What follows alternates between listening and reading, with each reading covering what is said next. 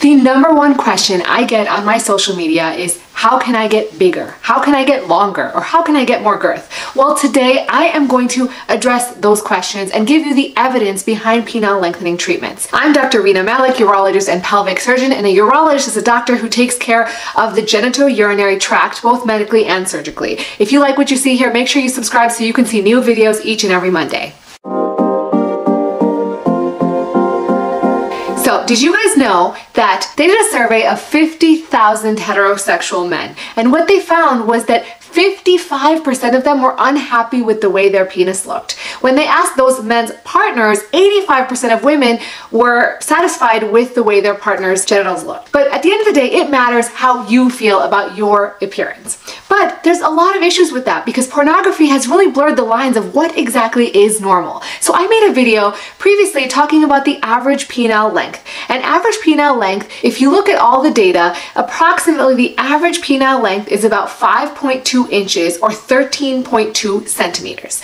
And it's normal for penile length to be within two and a half standard deviations of that, so either greater or smaller. And so what's considered abnormal in terms of length being too short would be anything less than 2.9 inches or seven and a half centimeters, and that's called micropenis. Micropenis is prevalent in less than 1%, actually 0.14% of the population, so it's extremely rare. It can be due to a number of causes, which can include congenital abnormalities, hormonal abnormalities, previous surgeries, or cancer. But today we're going to talk about people who have a normal penile length. So while it is true that the large majority of people who are concerned with the size of their penis have a normal penile length based on these numbers, the true issue is that a significant portion of men can have distress related to the idea that their penis is not as long as they desire. And this is a form of body dysmorphic disorder, actually has a term, it's called small penis anxiety.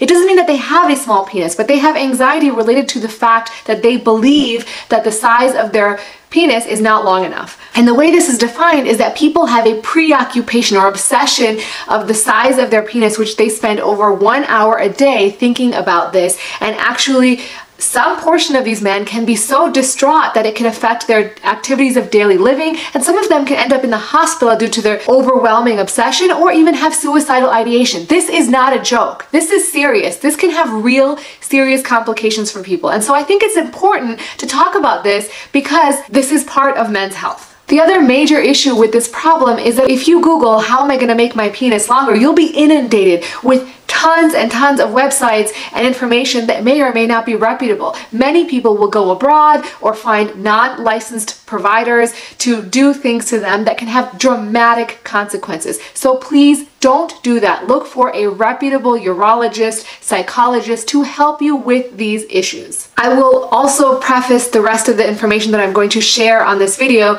by telling you that the Sexual Medicine Society of North America states that procedures for penile lengthening or girth enhancement are not recommended and considered experimental unless they are in context of someone who has a micro penis. So the things I'm about to tell you are in the literature for urology and have some data to support them. However, before doing any of these things, please establish care with a urologist who is familiar with these things. As a caveat, I do not discuss or offer treatment for penile lengthening in my practice, but because this is such an important topic, I went ahead and did the research for you guys. There are two categories of treatment options available to people who suffer from small penis anxiety or distress due to the belief that their penis is smaller than normal. And for those people, there are non-surgical treatments and there are surgical options that are reported in the literature. Starting off with non-surgical treatments, psychological counseling. So there are validated measures and questionnaires and assessments that can be done to help you understand what normal penile size is and also help you deal with some of these anxious feelings. Interestingly, when you look at people who've undergone just psychological counseling and nothing else, the large majority of men no longer want to look for any other other treatment, whether it's non-surgical or surgical, to enhance the length of their penis. So this is big. I would recommend anyone who's suffering from anxiety to please seek out psychologic care to help you with this anxiety. There are three other non-surgical options. One is penile extenders, two is vacuum erection devices, and three is penile injectable treatments. The only one of these three that has any data to suggest it actually results in penile enhancement, as in length, is specifically penile extenders. And penile extenders are essentially a device that has a hole in which you put the penis, as well as two metal rods on either side, and then a silicone circle at the end to hold the glans in place. And it slowly and mechanically applies traction to the penis to provide length. And it does this over a course of many months and with a lot of time dedicated to it in each day. And when you look at the data, people who religiously used these penile traction devices actually did gain some length on their penis and they measured their penile length by a flaccid length as well as a flaccid stretch length. In urology, we use a flaccid stretch length to estimate the size of an erect penis. So the flaccid stretch length has actually been compared to the erect length that has been shown to be very similar for measurement purposes. So what was the end gain after months and months of daily use? about two centimeters. So there was a gain, however, it was very, very small. So you have to be extremely compliant, do this daily for several hours a day to achieve the desired effect. Also, there are some complications. This can include numbness, bruising, or overall just lack of efficacy. You can spend a lot of time doing this and see no benefit. So this is the only thing that has been shown in the literature to have consistently good results with very low side effects.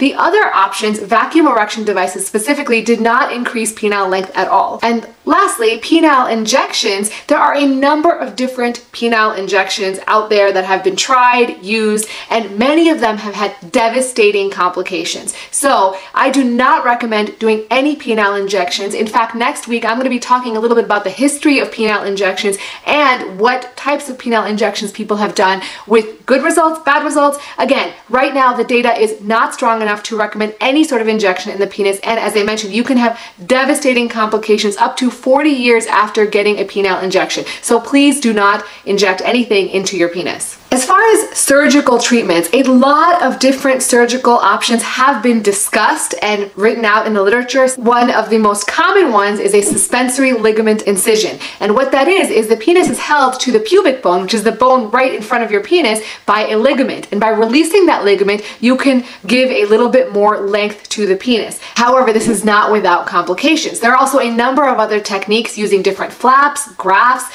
and even using rib cartilage to help increase the length of your penis, and all of these overall have poor outcomes with poor satisfaction. The studies that have actually been able to give results on these particular surgeries have not been really rigorously reported. So at this time, we cannot recommend a surgery to increase your penile length that is not without a multitude of complications. The only time that you should proceed with any surgery for penile lengthening would be in the context of a clinical trial. And what is a clinical trial? Well, a clinical trial is one that is done at an institution where there is an institutional review board or IRB. What that IRB does is it makes sure that any study that is done in that institution is safe and ethical to be done on human patients. They also make sure that there is data monitoring and a way to report adverse events that occur during the trial on on a regular basis so that things that happen because of the surgery are accurately documented and then those things are published in the literature so that you can get true,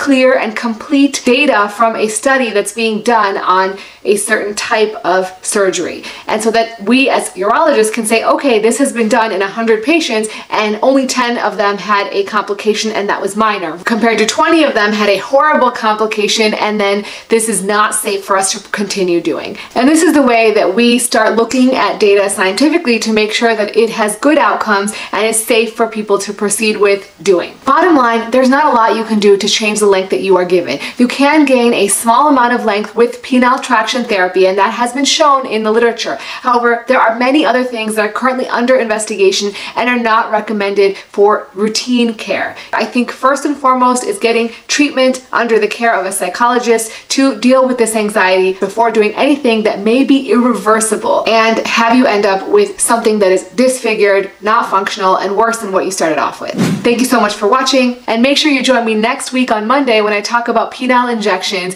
and what are some of the side effects, complications that have happened in patients who've injected their penis or gotten their penis injected um, with a number of different substances. And always remember to take care of yourself because you're worth it.